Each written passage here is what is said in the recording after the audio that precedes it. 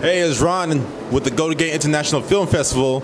We got the director and the cast of Suicide Station, but the title is not what you think it is. So tell us why you named it that movie, but it, it kind of really isn't what is the, the title says. Yeah, well, the movie there is actually nobody actually commits. Spoiler alert: nobody actually commits suicide in it. Um, it's a little bit of a fake. Uh, it's a play on uh, certain train stations and subway stations where a lot of people commit suicide. Suicide is a something that's supposed to have happened to one of the characters, but it turns out in the end um, that she did not actually commit suicide. That's a huge spoiler, actually. Shouldn't even say that aloud.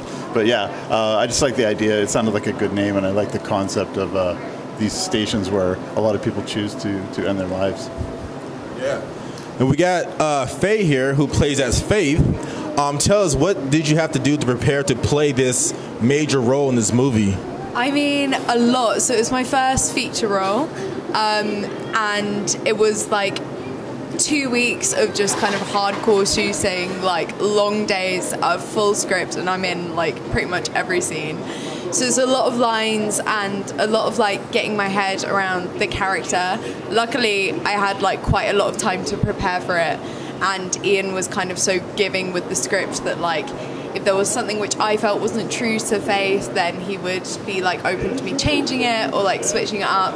So that was really nice because that's like a luxury to have on a film. But there was a lot of yeah, just like really getting who Faith is as a person, why she does all the things she does, and then just the bunch load of like lines that come with it.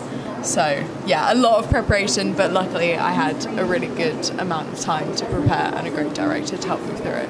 And I would add to that to say, if you see the movie, you'll notice there's a lot of filming locations. So there was a lot of road trips from one location to another. And one of the coolest things was hearing um, Fay and Madeline, who played uh, Juliet, running lines in the car as we're on the road trip. So that's all part of the preparation. Nice dedication. So, uh, like I said earlier, this was kind of like a 25% sci-fi and uh, 75% drama, but we had one part which was a comedy. I guess you could say we have this guy over here. So tell us what how it was like when you see the whole script, but then you see your part and it's like a comedy thing. How'd you feel about that part?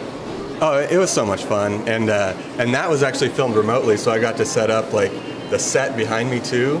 Um, so that was so much fun, and I was just playing with it. Uh, you know, and the, and the, spit take that I do is like, it was just like, I'm gonna try this. That was kind of like my spaghetti take, where I just throw it at the wall and see what sticks. So um, it turned out, and it was it was fun. Yeah. So uh, last question or comment, I guess you say.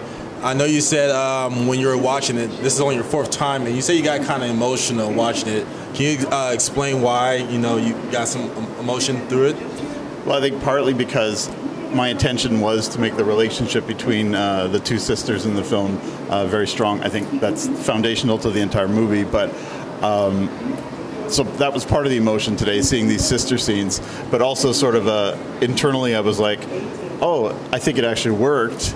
I was able to sell that these two sisters had a relationship that was really close and really tight. And it's just really sad. I mean, it's a not a happy ending, but not a sad ending, I guess. It's an optimistic ending, but uh, yeah, the sisters. I won't give any more spoilers. I'll leave it at that. well, there you have it, guys. Uh, this film has gotten nominated. Um, big look for them. Um, this is a first feature film, so I know you are excited. Um, but good luck to them, and we'll see you guys later.